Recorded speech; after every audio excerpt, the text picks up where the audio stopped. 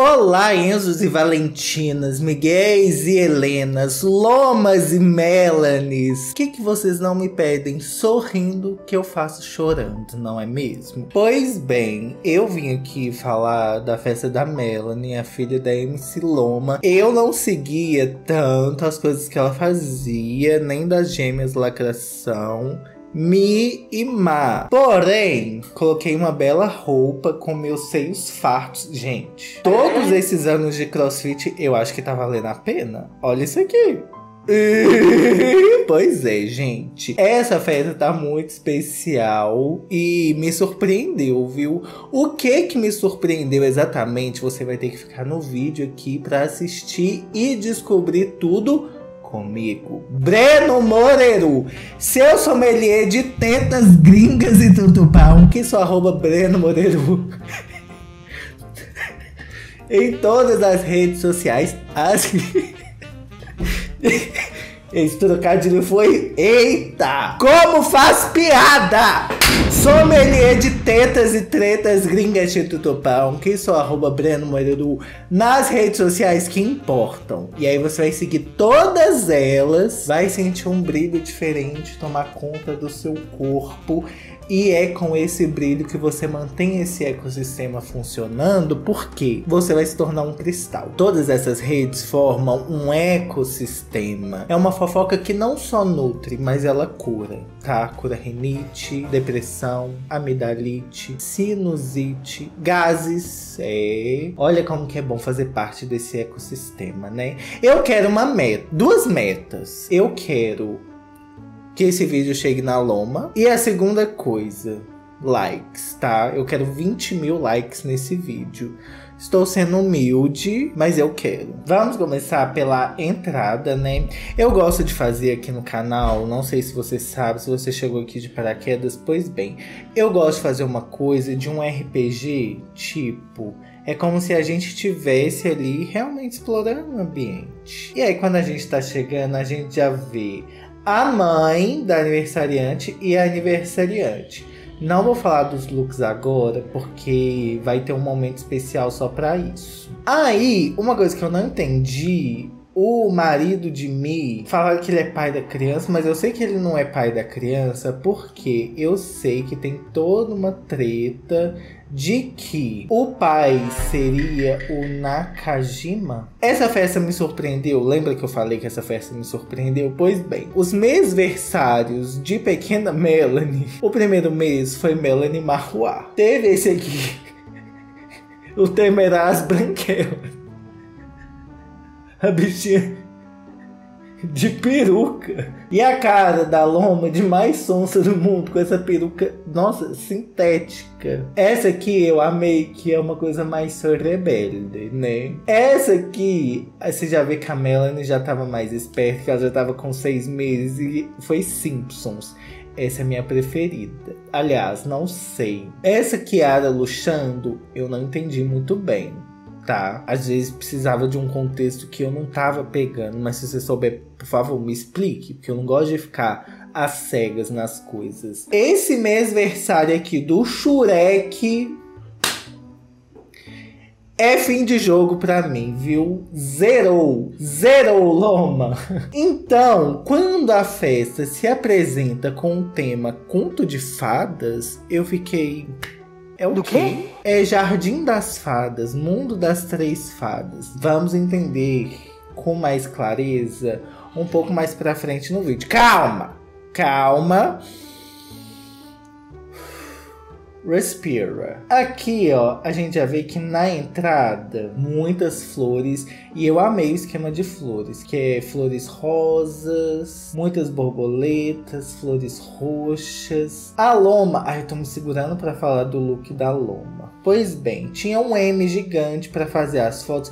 Eu não entendi muito bem por onde entrava, não. Que parece que tinha várias entradas. Uma entrada dava nesse M, mas a outra entrada era uma coisa mais caricata. Quer ver? Esse era o M, ó. Que a Loma e o Zinho tava lá tirando foto com a Melanie. Eu só achei que o M podia ser mais elaborado, né? Pegaram uma fonte Arial, todo um acabamento, a borboleta maravilhosa, as flores, os galhos com pisca-pisca. Sabe que pisca-pisca em inglês se chama fairy lights? Luzes de fada? Então tava muito no tema aqui. Eu amei essa parte. Só minha crítica aqui é em relação ao M, que podia ser uma fonte mais trabalhada, né? Aí depois a Loma postou assim: mais um sonho realizado. E aqui a gente já vê que é entrada, entrada. Aí tem até um veadinho aqui. Eu gostei da representatividade na festa. Repara que isso é um corredor, tá? E vai ter um portão lá na frente. E tem outro viadinho aqui. Nossa, tem muitos viadinhos. Gente, que festa inclusiva, né? No teto tinha um arranjo de galhos, flores maravilhoso. Isso aqui já entrava na festa. Só que papum entrou na festa assim, só cruzou a porta, etc e tal. Não. Se eu tivesse na festa, Gente, eu sou muito transparente. Quando eu tô não gostando de estar em um lugar, minha cara não mente. Tá?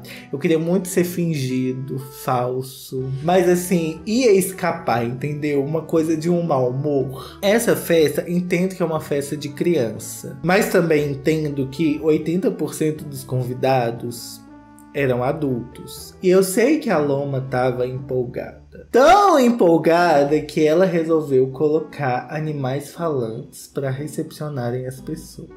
Isso me lembrou aqueles NPC do TikTok. Ai.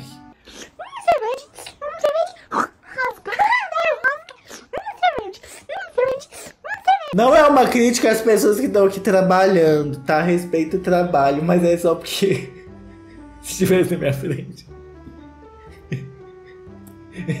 Sabe? Duas pessoas fingindo que são raposa e esquilo com o cu arrebitado. E tem uma fada, pior, tem uma fada lá na frente. Nossa, tem um espelho no teto, né? É chique. Pra dar uma amplitude no ambiente. Aí você pensa assim: ah, não. Não é que os animais vão falar. Eles falam. Não é a coisa só de falar. Tem toda uma história por trás. Aqui no Jardim da Melanie temos muitos seres mágicos. E esses seres mágicos são protegidos em... E o povo atua bem? Só é cringe mesmo. O portal. Uau! Não é um esquilo, é um lobo e uma raposa. Ai meu Deus. Chegou os dois duendes gêmeos.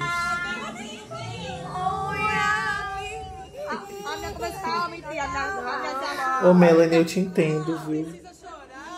Gente, mas aqui, ó, João VS do TikTok. Passado. Então é daí que ele tira dinheiro, né, para comprar as coisas de grife. E aí, tinha um encanto para abrir a porta. Se a criança entendesse, nossa, deixaria 10% menos. Mas a criança estava com medo e ainda assim eles continuaram. O que, que a gente não faz, né, por uma divulgação? Ah, eu falei divulgação aqui, mas eu tô passado que a Loma parece que saiu tudo do bolso dela, porque não teve um arroba nessa festa. Ó, Loma, parabéns! Mostrou que é rica. Não precisa ficar vivendo de permuta. Não estou dispensando nenhuma permuta, não. Mas é porque tem certas influenciadoras por aí que vive de permuta para fazer festa. E aí fica só mostrando as coisas de permuta e a festa que é bom, nada! Quem é? Vou deixar para você me falar aí nos comentários.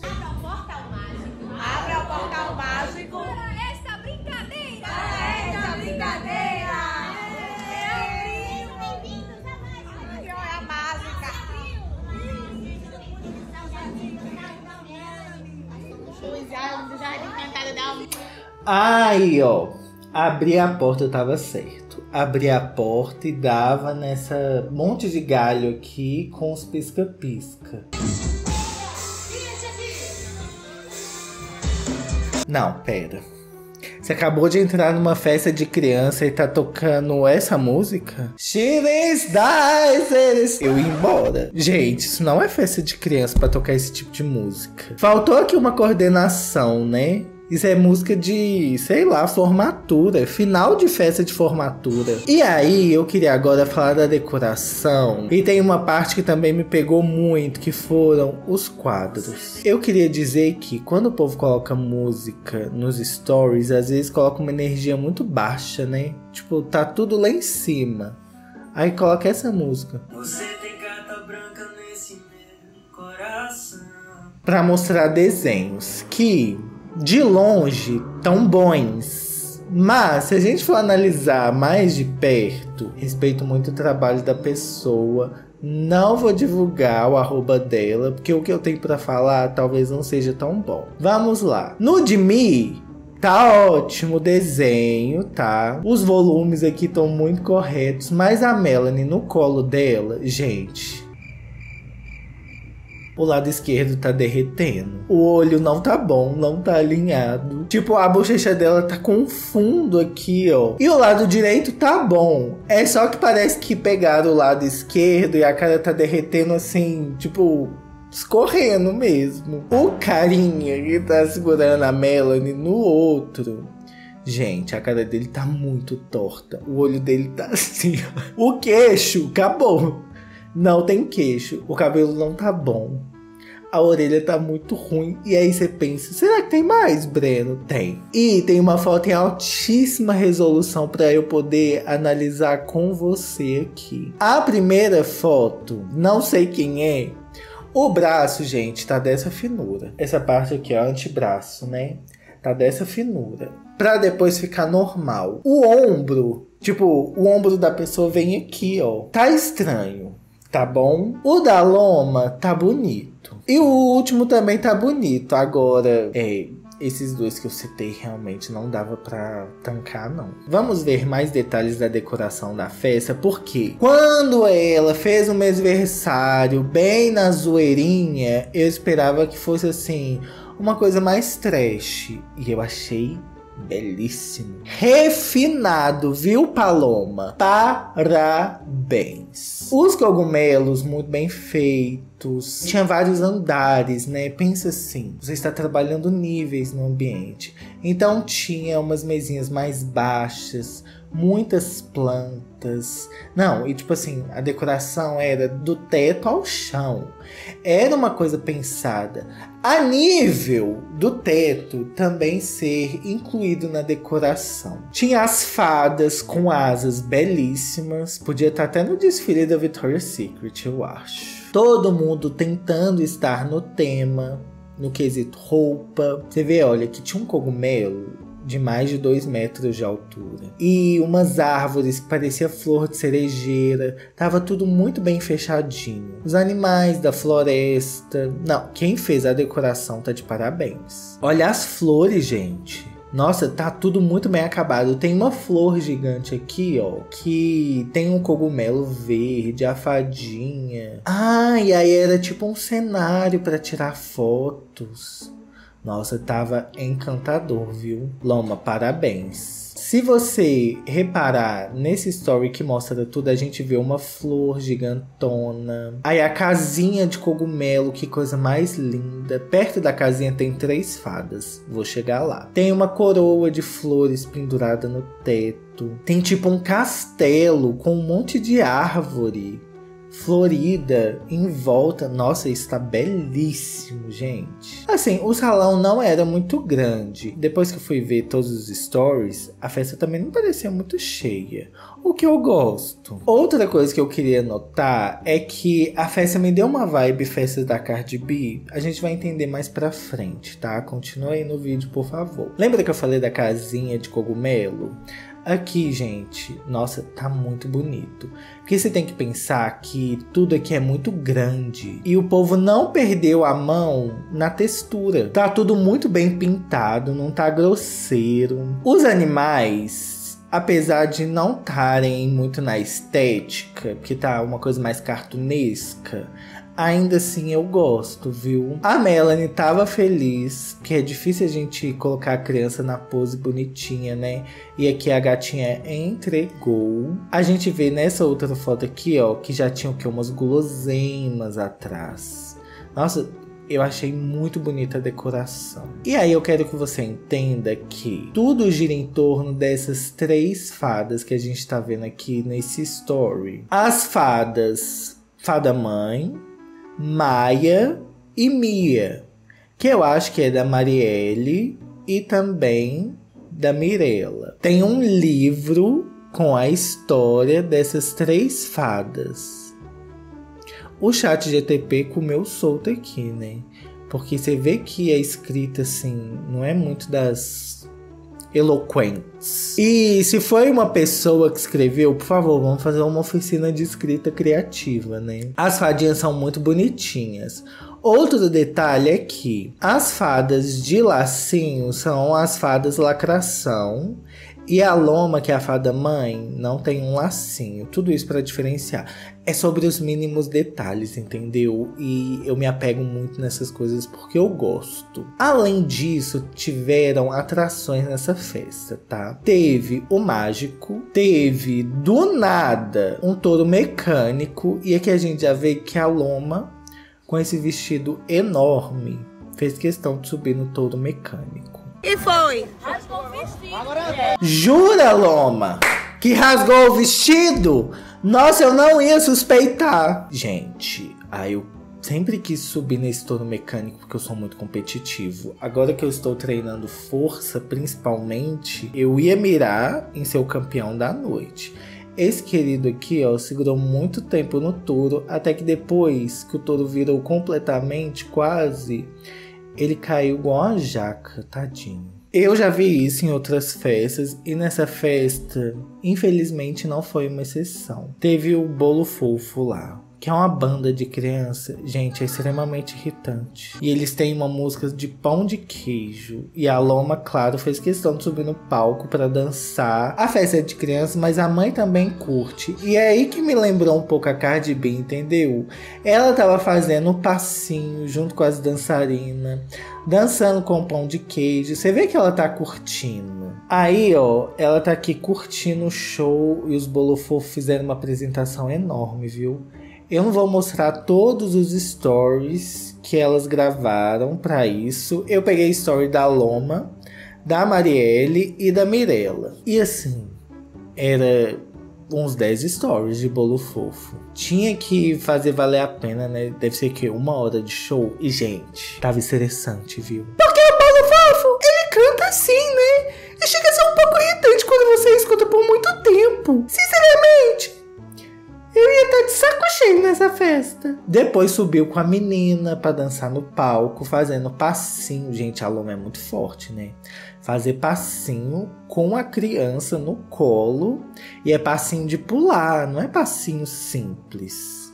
Eu achei lacre. E a foto oficial dessa festa, do palco, gente, as fantasias estavam muito bem acabadas.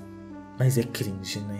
Meu Deus do céu. Porém, o conceito estava bem amarradinho, né? Isso eu não posso tirar da loma. Parabéns pela direção criativa da festa, viu?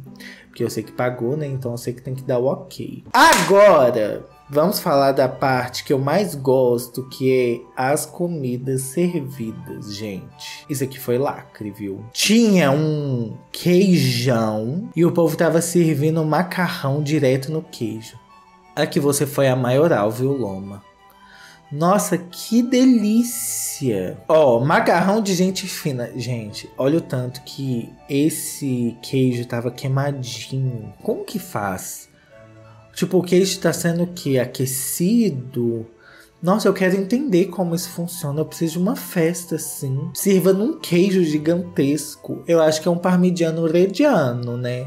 Que lá na Itália o queijo chama parmigiano reggiano porque ele vem de Reggiano, que é uma região lá da Itália. Se eu entendi bem quando eu fui para Itália, é tipo assim, ai, champanhe só é a bebida produzida em Champagne na França.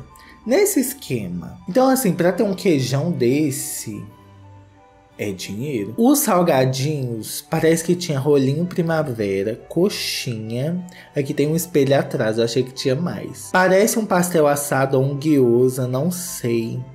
Geleia de damasco com um catupiry ou um cream cheese. Nossa, que delícia! Já estou com fome e antes de gravar esse vídeo, eu comi. A parte dos adultos, cheio de bebida.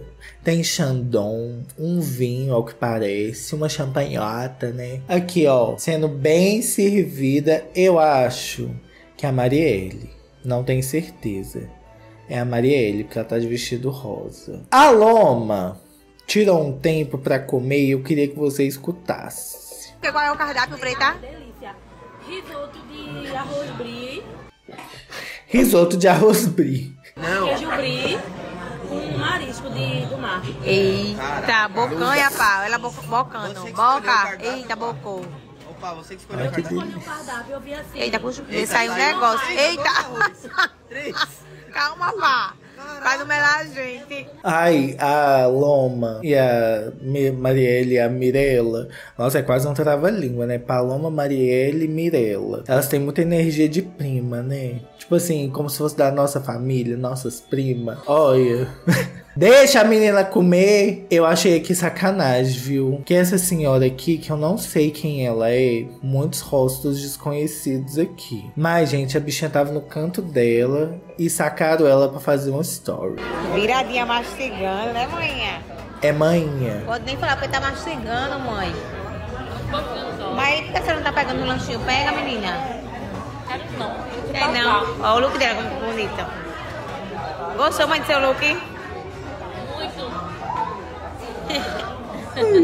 Olha o mastigadinho de manhã, que coisa mais fofinha. Eu amo quem mastiga curtinho assim, ó.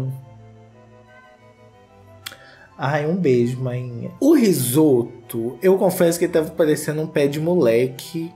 Ou então um arroz flocado. Tipo assim, crocante de arroz. E o que mais me incomodou não é nem a aparência, não, que não tava bonita. Pegaram um azulejo de ardósia. Ah, não, gente, isso não é prático.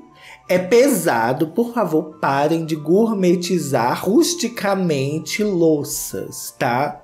Tá saindo fora de controle o resultado a gente vê aqui. Por que, meu Deus, não coloca uma cumbuca? Ei, somos o país da cumbuca. Você me coloca uma chulapa de ardósia rasa. Não tem onde barrar da comida escorregar no prato. Prato esse pesado. Você não come esse negócio assim, ó. Que é pesado. Aí você vai comer direto na mesa. Aqui, ó. Não dá. E logo na frente uma xicrinha de café, né? É o equilíbrio. Um risoto e um cafezinho. Os convidados, eu queria falar brevemente que elas têm muita energia de prima porque 15 milhões de seguidores e ainda assim ela não perde a espontaneidade. Ri tanto que deu vontade de fazer xixi. E elas ficaram dançando um monte nessa festa. É bem festa de prima mesmo, né? Juntaram ali no canto e os homens ficam: Oi, oi, oi. Eu já. Para! Para de fazer essas graças que não tem graça. Saco. E as gatas dançando. A Mirella grávida e isso não impediu. A energia, ó, lá em cima. Não teve um enjoo, não teve nada. Dançando com essa senhora aqui que eu também não sei quem é. E o vestido da Mirella, belíssimo. Ah, não, não é a Mirella, não. Marielle. Gente, elas. Eu acho muito bizarro que elas são muito parecidas. Tipo, gêmeas idênticas. Falta pouco pra eu não saber quem é quem, se não fosse pela roupa. Aí a outra tá sentada no banheiro e gravando um story. Falando de cocô. Acho chique. Eu queria também analisar essa foto aqui, ó, com os boys. Eu sei que a Loma não é convidada, né? Ela é a mãe da aniversariante. Mas agora eu vou tirar um tempo para analisar o look de cada um. O boy da Marielle, eu não sei quem tava falando, mas ninguém usa monocromático hoje em dia. Quem usa um look todo marrom monocromático? Isso está fora de moda há muito tempo. Pois o gato vai e me mete um look todo marrom. A Marielle estava belíssima nesse vestido, honrando aqui o Barbiecore. Nós Barbies, nós temos muito orgulho, tá? Eu tomei para mim a Kennedy, tá? O vestido da Loma, gente, ela tirou direto da televisão que tava passando A Princesa e o Sapo. E aí ele tem uma franja simétrica de frufru. E aí tem um tule aqui por cima do tecido do vestido. Não tá bom. Não tá bom porque não tem uma definição, sabe? O vestido da Melanie é o meu preferido tá? Tá muito bem feito, muito no tema. Amo uma manga bufante, flores em relevo. O boy da Mirella. Nossa, por que, que eles estão tão fixados assim em marrom? Acho que é do dress code, né? Não é que eles estão mal arrumados, mas também. Não.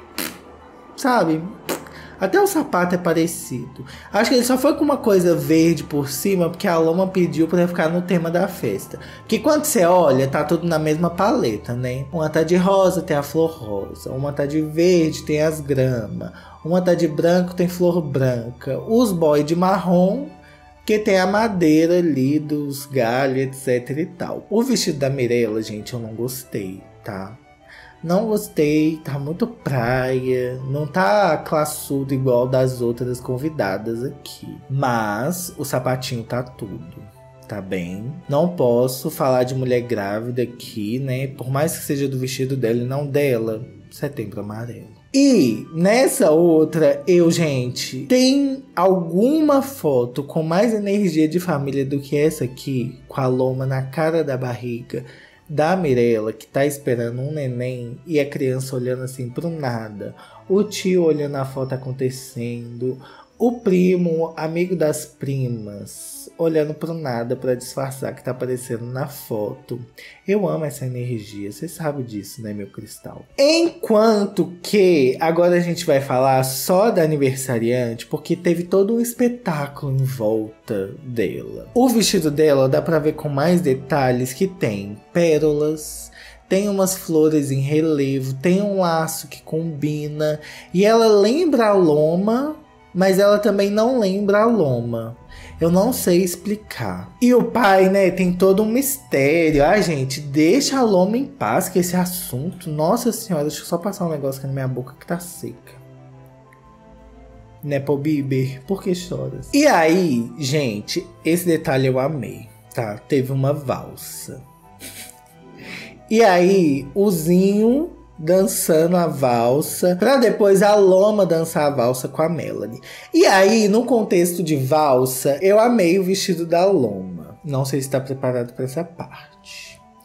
Teve uma música feita para ela. Nessa hora, a Loma trocou de roupa e o Zinho também trocou de roupa. Gente, eu não sei se é Zinho o nome dele, mas pelo que eu lembro é. Essa parte que solta um slide, assim, Lá nos anos 2000 era muito comum o povo querer fazer um vídeo no Windows Movie Player e aí era cada montagem cafona e ficava aqueles vídeos de 5 minutos e todo mundo parado assim na festa. E aí eu achei a coisa assim mais desenterrada que eles podiam arranjar. E é só foto, não tem um vídeo. E a música é muito melosa.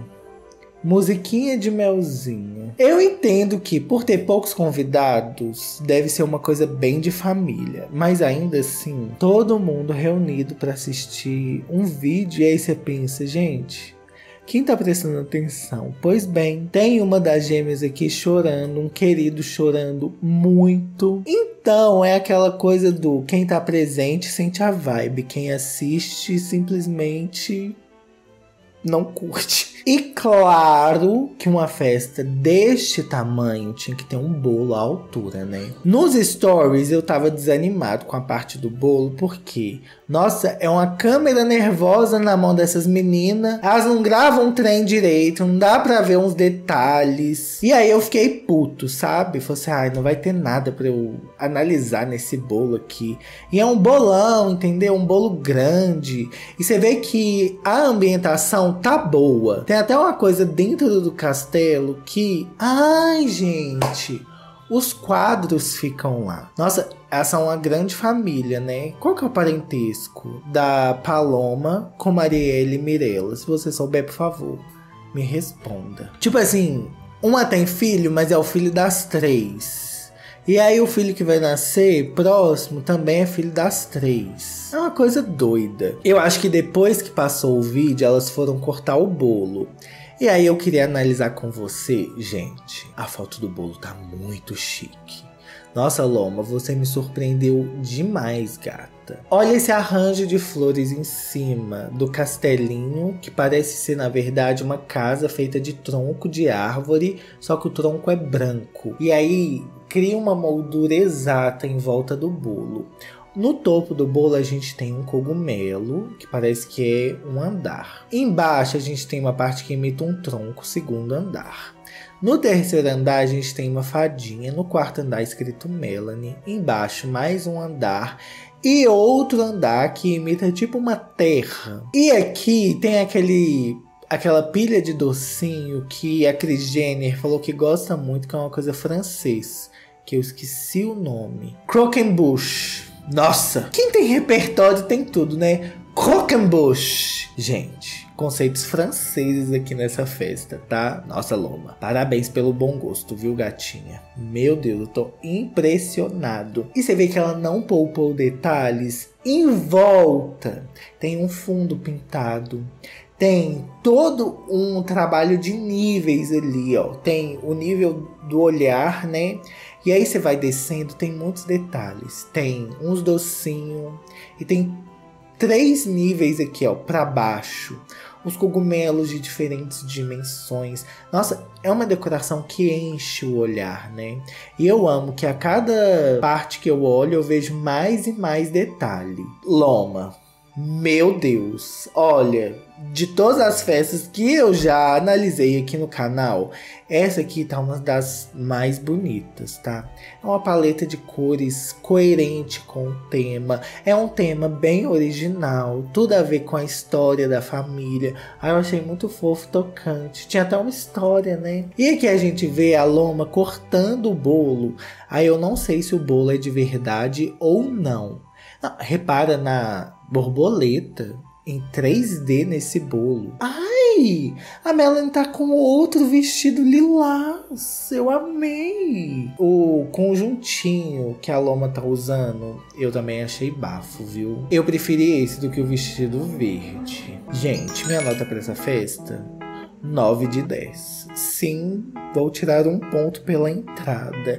Quero saber que nota você daria se você gostou dessa festa. Eu tô sentindo que tem um baby boom, né? De novos Nepo Babies vindo aí. Nossa, eu analiso tanta festa aqui no canal, eu amo. Por favor, continue tendo filhos, fazendo aniversários e muito obrigado à sua companhia, aos membros deste canal e te espero no próximo vídeo, neném.